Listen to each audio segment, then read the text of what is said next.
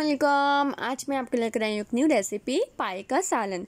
अगर आप मेरे चैनल पर नए हैं तो मेरे चैनल को लाइक कीजिए सब्सक्राइब कीजिए और बेल के दिए आइकन को प्रेस कीजिए।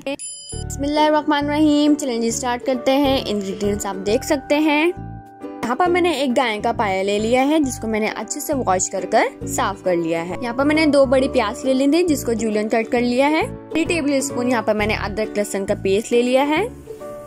थ्री टेबल स्पून दही ले लिया मैंने one and half tablespoon लाल मिर्चों का पाउडर ले लिया है वन टेबल स्पून धनिया पाउडर लिया है वन फोर्थ टेबल स्पून गर्म मसाला पाउडर लिया है वन फोर्थ टेबल स्पून हल्दी ली है और नमक हसबे जायका यहाँ पर मैंने साबुत गरम मसाले लिए हैं जिसके अंदर हाफ़ टी स्पून जीरा है एक बड़ी इलायची है साथ गोल मिर्चे हैं और चार अदद लौंग हैं पर मैंने एक बड़े साइज़ का भगोना ले लिया है, जिसके अंदर मैंने पायर डाल दिया है और पायर डालने के बाद मैं इसके अंदर प्याज शामिल कर दूँगी।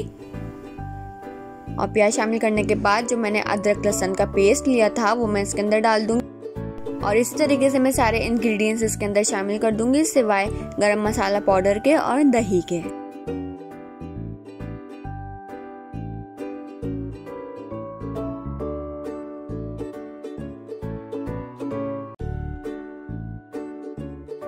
सारे इंग्रेडिएंट्स मैंने इसके अंदर शामिल कर दिए हैं और शामिल करने के बाद मैं इसके अंदर फुल भगोने से थोड़ा सा कम पानी शामिल करूँगी, क्योंकि ये पाए हैं, इसको गलने में दो से तीन घंटे लगते हैं। यहाँ पर मैंने पानी डाल दिया है, आप देख सकते हैं। यहाँ पर मैं थोड़ा सा और पानी डालूँगी, क्योंकि मुझे पानी कम लग रहा था। पानी डालने के बाद मैं इसके अंदर दो बड़े खाने के चम्मच, आप देख सकते हैं कुकिंग ऑयल के शामिल करूँगी। और इसको एक दफ़ा हिला दूँगी।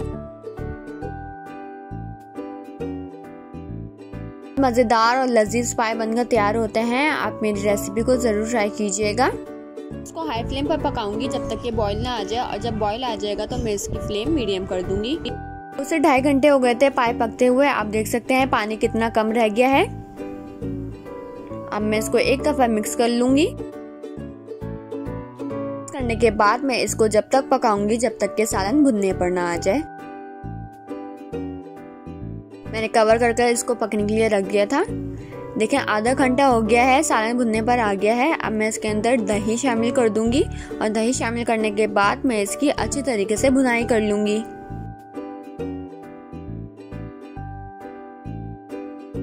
पॉइंट पर आकर पाए गल गए हैं और यहाँ पर मैं अच्छे से भुनाई कर लूँगी। पाए मुकम्मल तरीके से गल गए हैं।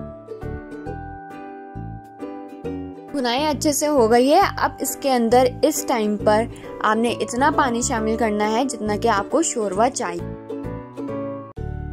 यहाँ पर मैंने पाँच गिलास पानी शामिल करा था। ये टोटली आपके ऊपर डिपेंड है कि आपको कितना सालन चाहिए। आप उसी के हिसाब से पानी डालें। और यहाँ पर आप इसको पकने के लिए रख दीजिए। माशाल्लाह माशाल्लाह, आप देख सकते हैं ऑयल उतर गया है और पाइप भी मुकम्मल तरीके से पक गए हैं। इस पॉइंट पर आकर हम फ्लेम बंद कर देंगे।